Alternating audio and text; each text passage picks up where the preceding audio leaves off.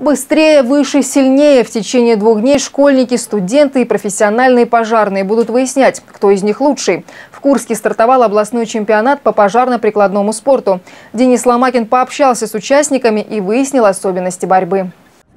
Сергей Свиридов – мастер спорта по легкой атлетике. В 41 год выиграл первенство Юга России по преодолению штурмовой лестницы. Сборную Курской области тренирует с 1984 года. Его воспитанники сегодня одни из лучших в России. А так, пожарно-прикладной спорт – это спорт смелых, выносливых, сильных и очень координированных людей.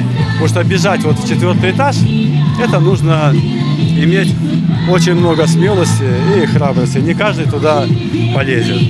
И при этом еще нужно обладать и силой, и ловкостью, и скоростью спринтера. Елена Приходько на соревнованиях представляет пятую пожарную часть. В этот спорт она пришла также из легкой атлетики два года назад. Были школьные соревнования, меня попросили поучаствовать, показала хороший результат, заняла первое место, сказали, что ждут меня тут. Для Елены, как и для многих, труднее всего дается покорение учебной башни, но до нее еще нужно добежать. Расстояние от старта до башни 32 метра. Ее высота 4 этажа. Вес лестницы 8,5 килограммов. В среднем эту дистанцию профессиональный спортсмен преодолевает за 15 секунд.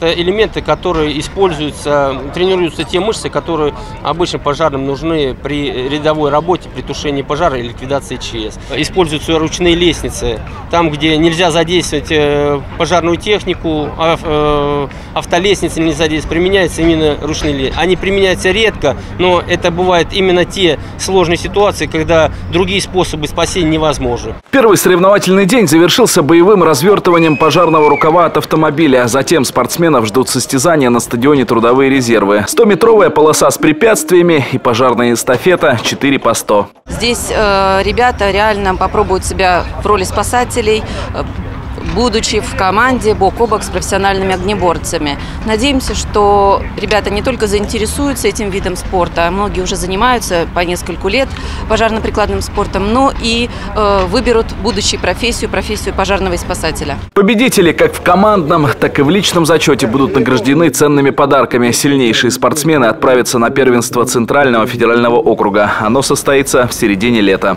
Денис Ломакин, Денис Федорков, телеканал «Сейм».